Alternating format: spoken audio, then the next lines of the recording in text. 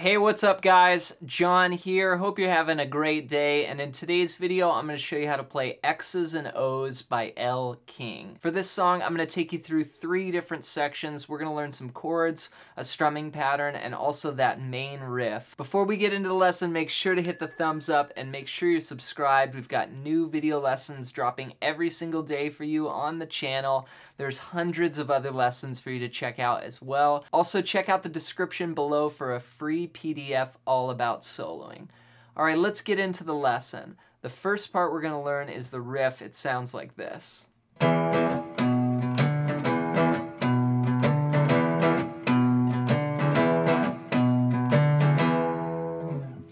This is based off of an E minor chord, and for the verse we'll be playing an E minor and a B7. Those are our two chords. And the riff goes over the E minor part. So we've got an open E string and then the seventh fret on the A string. This is like a low E and then an octave above that note. We're gonna do a down up on that first beat. One and two and. Then on the and to two, we're gonna play an up on the seventh fret of the low E. So we'll just bring that third finger up one string. And then we'll do another up, and then down, up on the fifth fret of the A string.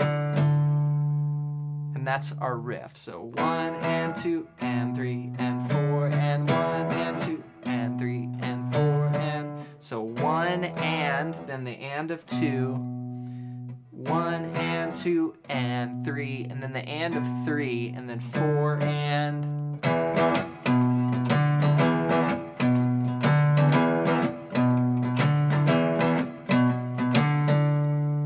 So that's gonna go for the first four bars of the verse. We'll play it four times. The melody comes in, you know.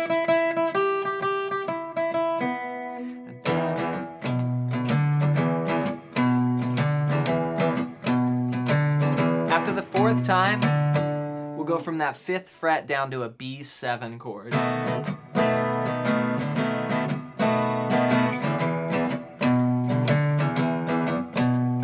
That B7 is going to be from the A string down, two, one, two, two, open, two. B7. So four bars of the riff. B7.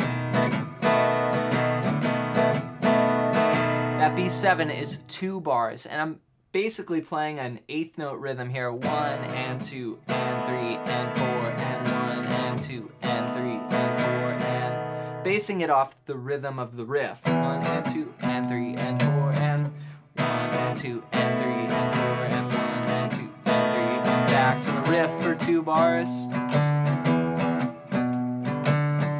That's your whole verse. So I'll put those together four times on the riff, two bars of B7, and then two more times on the riff. Here we go. One, two, three, four.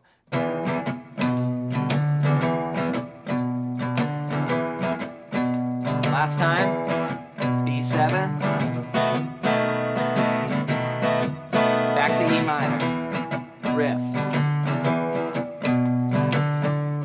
So we're gonna play that for the verse. When we get to the pre-chorus, that's where the melody's just like a one, two, three, they're gonna come back to me. We're just gonna play muted clicks.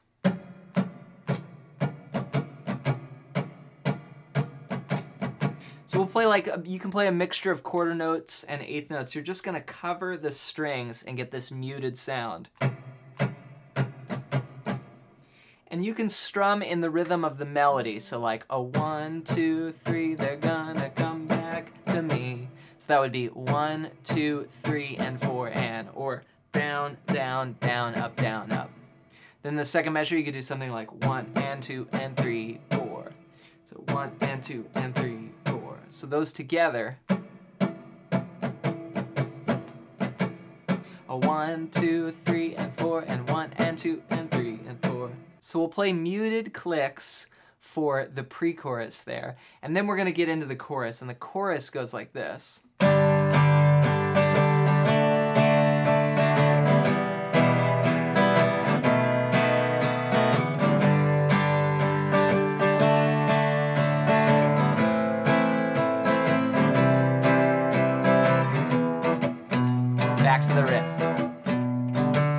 So for the chorus, we're gonna play one bar on each chord. We're gonna go G, two, three, four, then D, then E minor, then B7.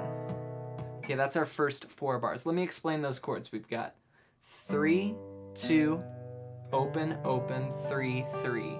That's how I play G. X's and the O's. This is the D chord.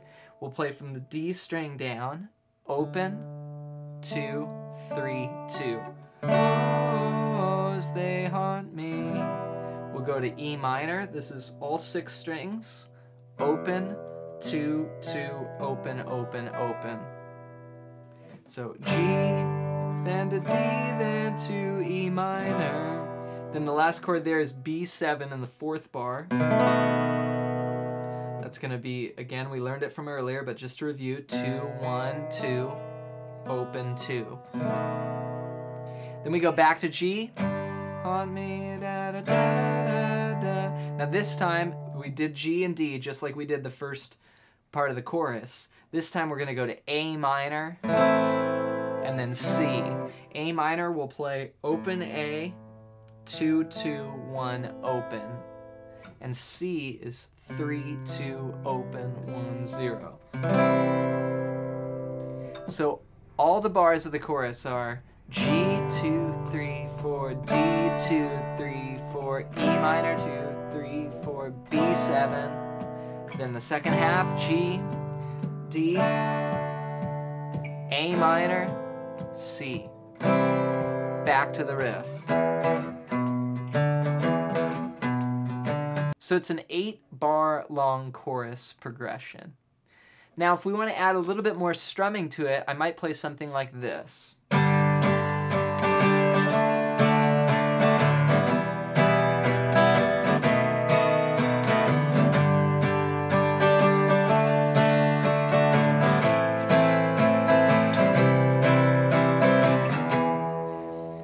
Play the same rhythm in every bar. It's going to be two quarter notes, one, two, and then four eighth notes, three and four and. A one, two, three, and four, and one, two, three, and four, and. This song's got a little swing to it. It's like a you know a little medium swing there. One, two, three, and four, and one, two, three, and four, and. So if I put that with the progression, it's gonna go G. minor, B7, G, D, A minor, C, then back to the riff.